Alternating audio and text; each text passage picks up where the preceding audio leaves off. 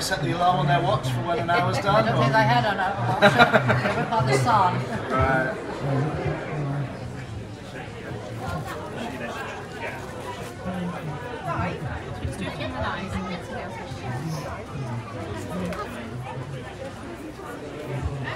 Well, Fine. I, I walked past it, I seen all the, the Oh, wall, you that's knew where it. it is then, yeah, yeah, yeah. Uh,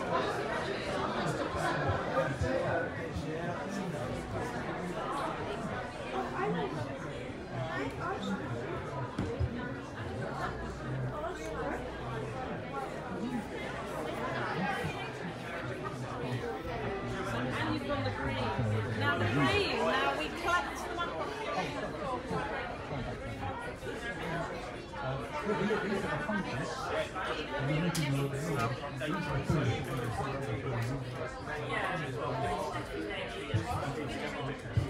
And it's, my knife is better than the Ipswich Museum. This has got Yeah.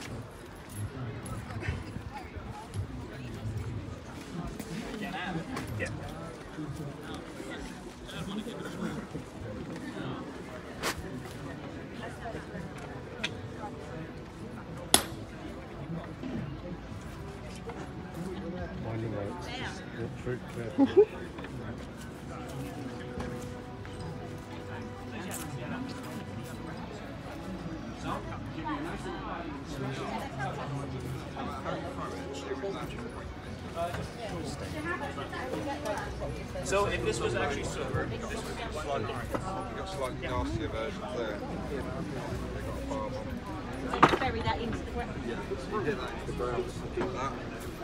And then stab it man. yeah, and then cauterize it. Yeah.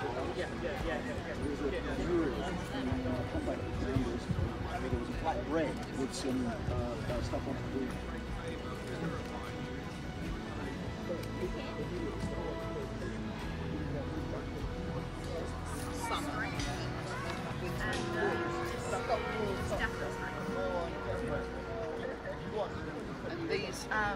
very good for when it's wet because even if your feet get totally wet, they stay warm.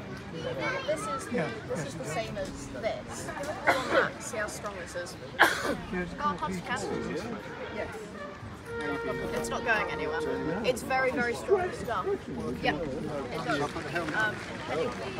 Um, I'll get a sword as well, shall I? Family daddy. Ted? I don't think I've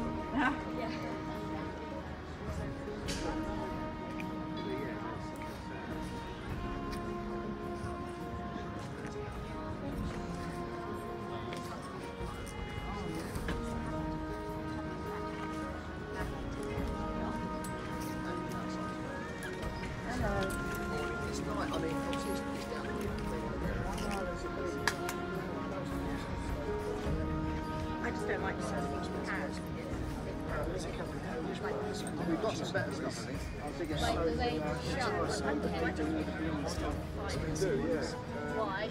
Most of this is made to. such a cheap can Always that one there cost me two hundred and fifty pounds.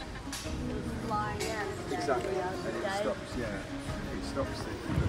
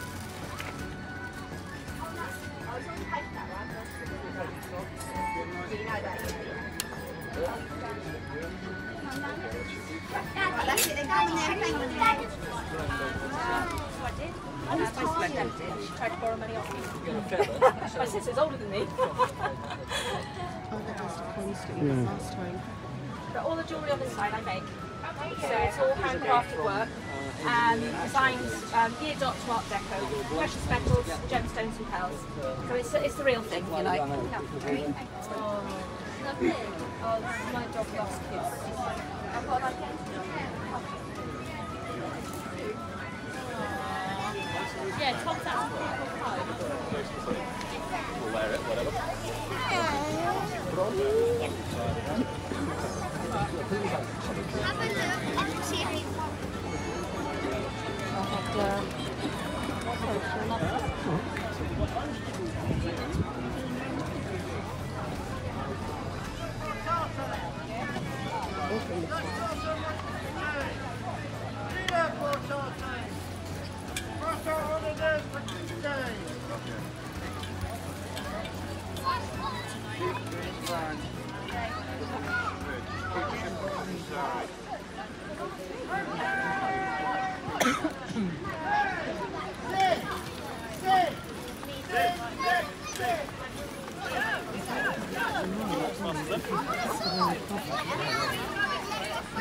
Albans, and then they went up into the Midlands towards Wat- Watford, by which time the Roman army had come down from Anglesey to meet the Celtic tribes. And it's said by the ancient writers that the Romans were outnumbered by eight to one. So the Roman general assembled his men in a valley, put their backs to the va- valley so they couldn't get away, and they said, you either do, you either win the battle or you die.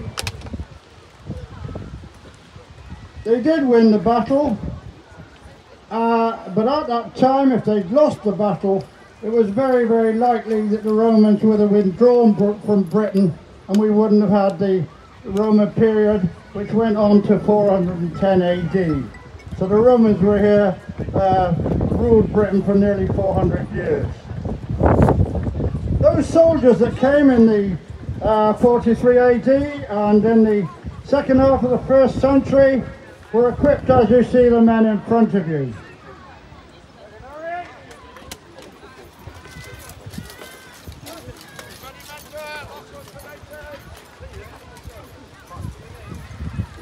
These are Roman legionary soldiers. They joined the legion. A legion was 5,300 men. They joined the legion for 25 years, and during that uh, 25 years were not allowed to make a legal marriage. If they were married when they joined the army, the actual process was an automatic form of divorce. This man looks as if he wants to join up straight away.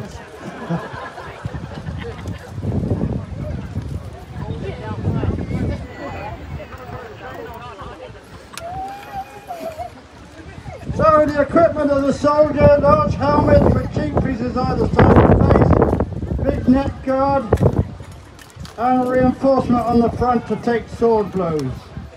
Some of them have got mail shirts on, that's the ones with uh, rings of metal, and some of them have got the strip armour, uh, which is made of plates of metal riveted inside to leather straps.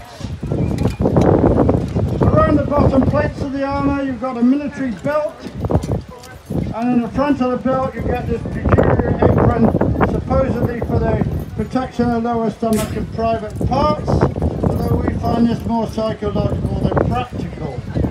In fact, if you're running, it can be a damn nuisance. Tough leather footwear. Some have got sandals, some have got boots, but in common to both types, you can see loads of nails, hobnails, in the bottoms of the sandals. They carry a shield. The shield is made of laminated wood. What do we mean by laminated wood? It means thin layers of wood with the grain going in opposite directions. What do we do today to make we promise you a spectacular display of Roman violence for a family.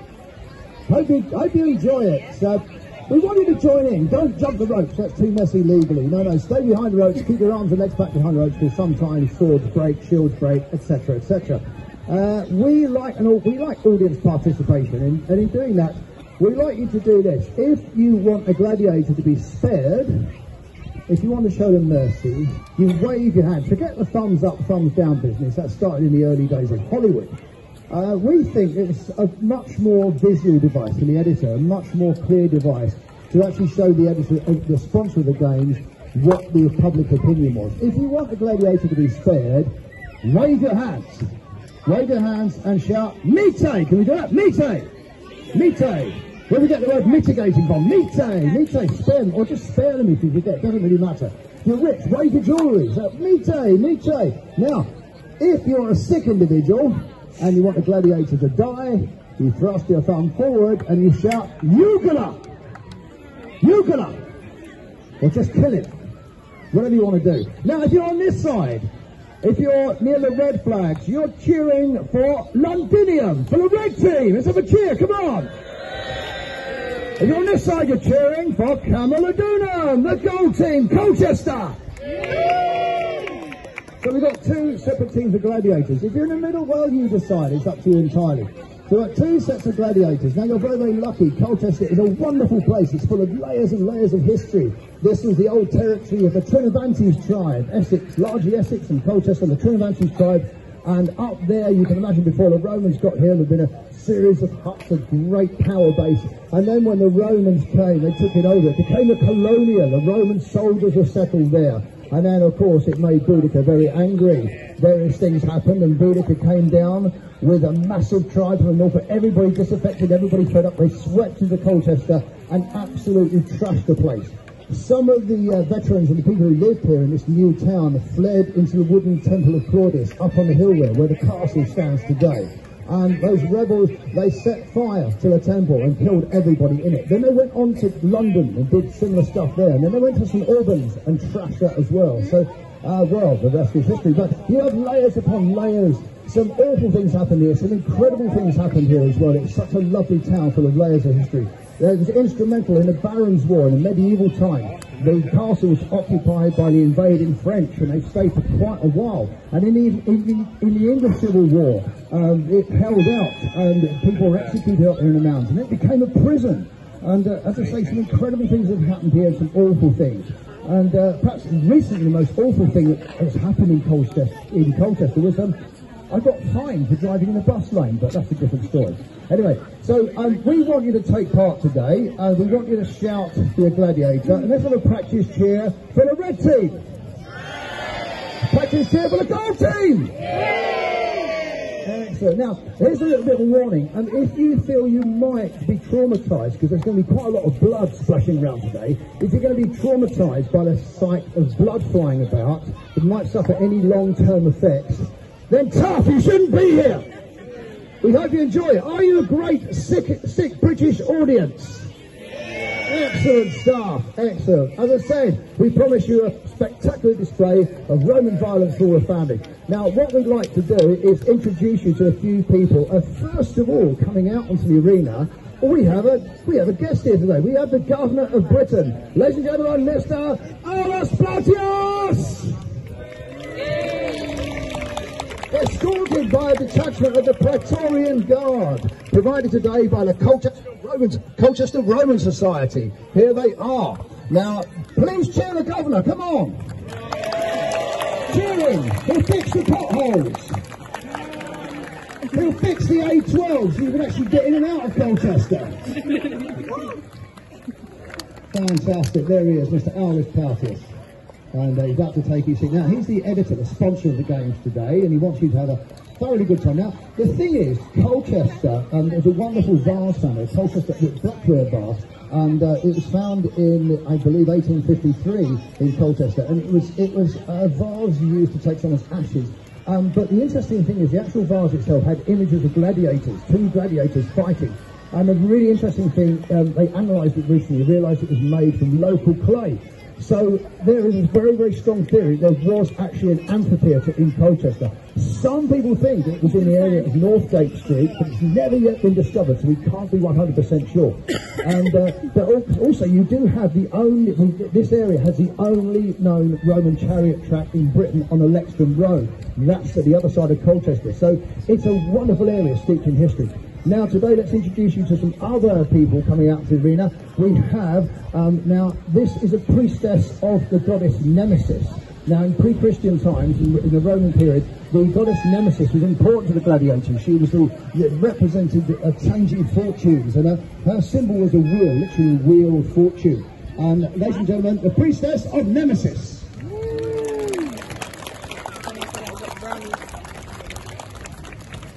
Now, the first gladiatorial games were in the days of the Old Republic, and we think, actually, they were probably even earlier. And uh, one of the characters that was used on the arena was actually an, uh, someone dressed as an Etruscan god, the god of death, Charon, the god of death. And here he is, and he was used in uh, in the Roman arena, in the, even in times of the, into the Roman Empire. And Charon represented the god of death, um, passing people into the underworld and the later emperor banned them, he issued an edict banning women gladiators. So they do fight in the arena. Now, ladies and gentlemen, for the red team, we have Breaker!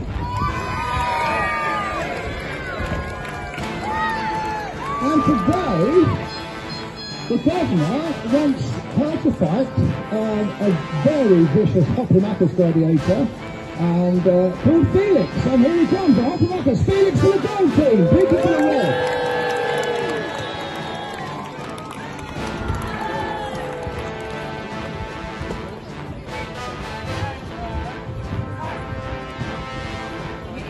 Now, Felix is a little bit annoyed, he's quite contemptuous uh, uh, this, He's even, even discarded, discarded his spear, and uh, because he objects to fighting a gladiatrix, and he just said, well, I've fought many, many battles, I don't, see why I should do this. So he's now thinks it's a very interesting, very quick contest. Or is it?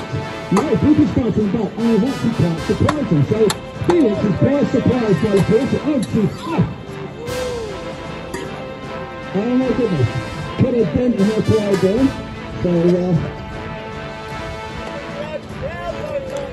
so you choose the Felix from Golden Team. Break up the red. Oh. Now, Peter. Peter keeps literally grabbing him in the face there and uh, trying to literally smash the silver helmet he's wearing uh, to hurt his pride even more. But Felix actually completely and utterly underestimated it and now he's been given a run for his money. So Felix is quite... yeah. Got the microphone then. Well done. Oh! Once again underestimating his opponent.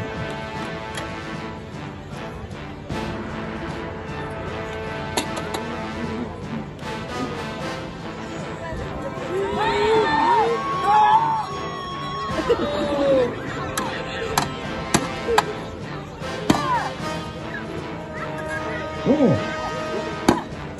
So Felix is angry about this. He's now damaged his arm uh, he's been reduced to fighting just with the gladius against the spear. She's, uh, yeah, she's going for the... Kind of taking apart bit by bit, I think.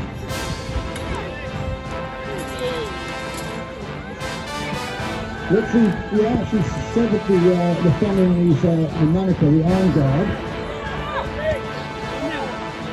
Oh, there's a mistake. There's a mistake. Oh. Oh, what do you think? Who's that? What do you think?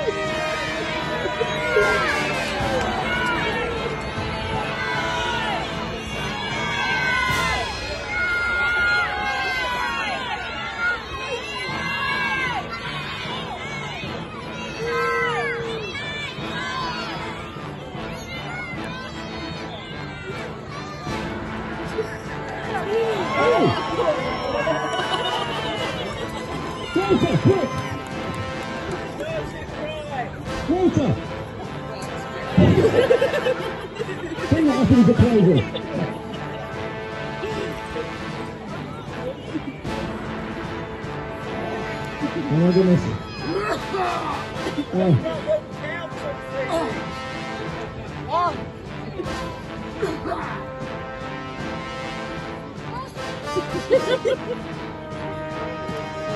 Yes, he's the ancestor of all the beetles. Now, what do we think?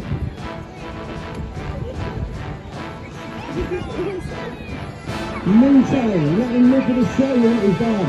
So,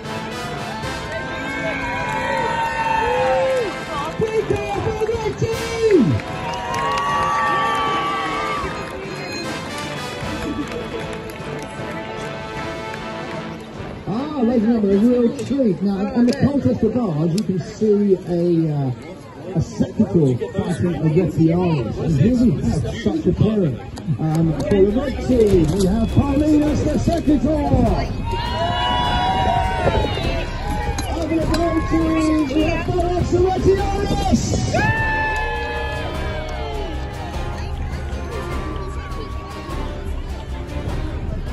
Now, Retiarius has no helmet, but he has a Galerus, an arm guard, and he has a trident and a net. Now, um, the secutor helmet, you see it's got like a large and smooth ridge it. It's very hard to actually catch that in the net. If he was a Thracian gladiator, that would be easy. Now, the secutor often called the Contra so for sure. Oh, look at this. Oh, fantastic. He's got the time and that could have been a lot worse. Now, the Retiarius is getting frustrated because the net is oh, now lost the net and the Darius has saved it.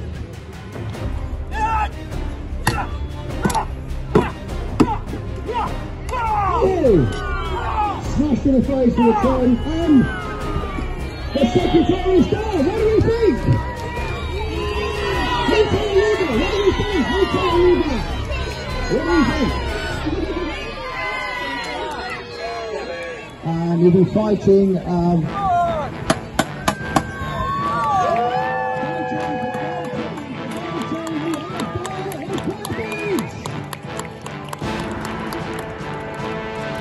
Now, big one there for Diana is definitely fighting for the gold team. Diana of Carthage with the Medusa, the gold Medusa head the shield fighting for the gold team. The dress is a provocatrix, a, uh, literally a uh, lady version of the provocateur community. And uh, it's very similar to one that actually is in protest to at the moment.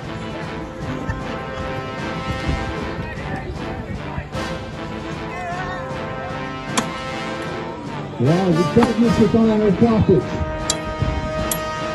With a Medusa head on our shield to intimidate the opponent.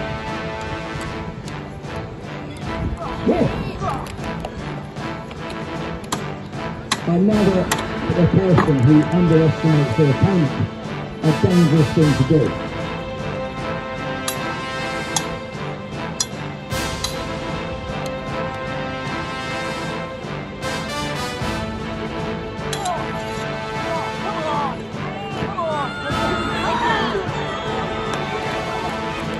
Pictures of Rusty Stone, pictures now taken from Mercy.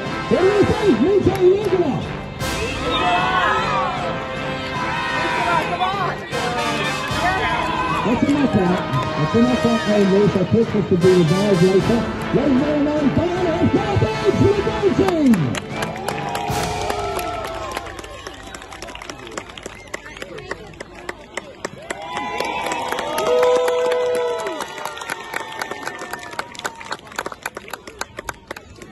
Paul Brixus is led off. Ah, we have another trophy, ladies and gentlemen. Um, I will just check with our parents. Our final performance today, ladies and gentlemen, we have we have two against two. For the red team, we have a provocateur wearing a helmet almost identical to one that's in Colchester Castle at the moment, found in Hawthorne. We have a provocateur called Ursus.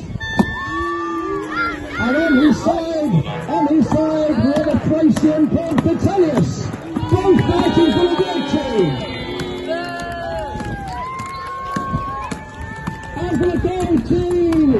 Team, we have the Wasp, Vestas, Thracian.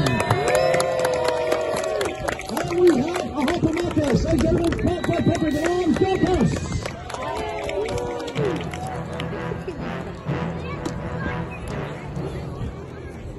Two against two. Um, over here we have Vespus and Goppus for the gold team. On the other side we have Ursus together and we have Vitellius the Thracian. They raise themselves in a shield wall, almost military. But our uh, yellow opponents, the gold opponents, are having none of that. We're going to try and break them up and break them up. We have done break them apart. And over at this end we have Ursus fighting Goppus. And over at the other end there we have Vitellius versus the West versus, um, yes, versus Vestus. So I looks like Vestus is taking the win, Vestus is taking the win, and Vestus now fighting over here. It looks as though he's quickly easy. Oh, Vitellius is taking the as well, so both sides.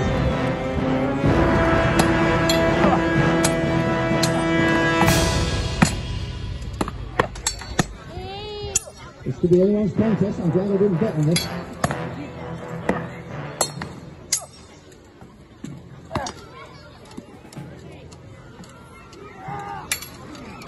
Whoa. Goppus slammed away the Ursus. And now Vitellius is down. Oh, whoa. Goppus is down.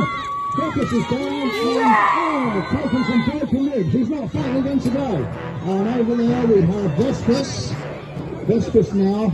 Uh, and it looks as though Vitellius is down. Vitellius, I think, uh, do we want me to Ugula? I think we'll have to ask people's opinion. No, you're supposed to. Oh, you're supposed to it. That is absolutely ruthless. Now, that Vestus has no regard for human life. He's the ancestor of every single BMW driver in the world. Doesn't even indicate. So it's now Vestus against Ursus. For the gold team and Ursus for the red team.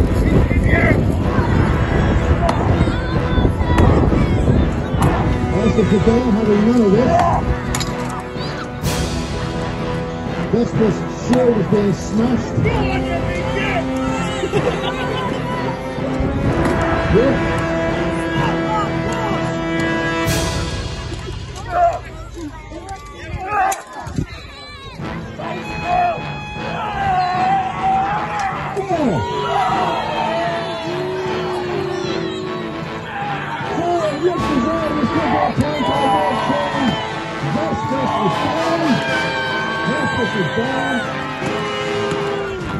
Justice.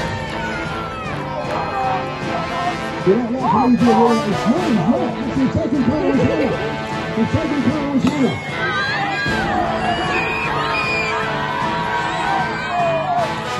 Oh my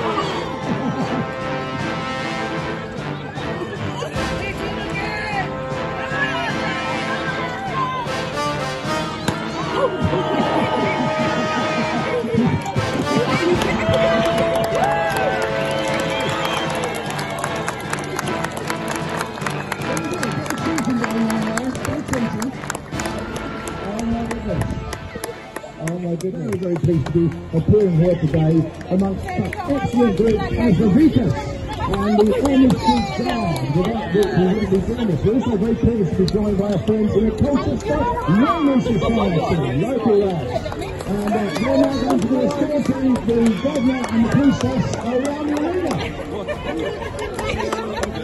There you go. And Colin as well. And the summer leaders.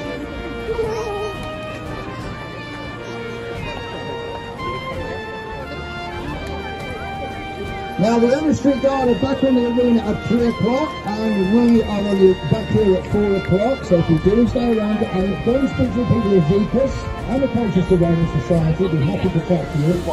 And uh, we hope you've enjoyed the show. And I leave you with a thought. I leave you with this profound thought. Throughout his entire life, Throughout his entire life, Julius Caesar never said the word sorry. And that's because he couldn't speak English. Ladies and gentlemen, thank you. Happy Sunday.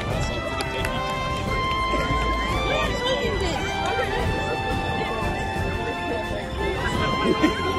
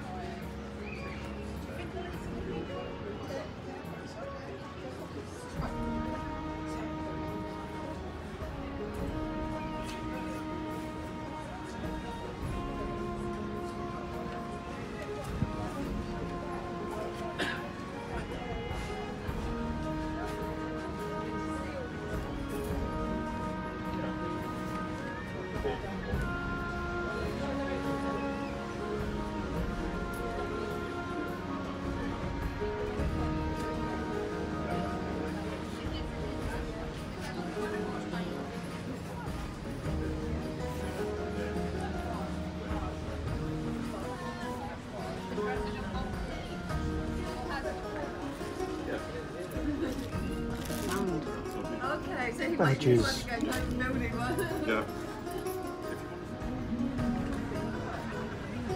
Well, they do not. They demonstrate all the bits of it.